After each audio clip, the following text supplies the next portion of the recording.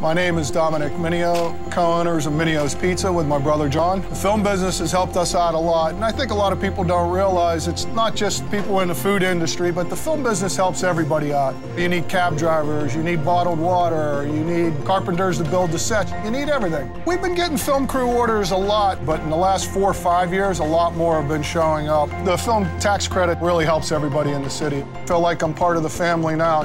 Film, it's everyone's business.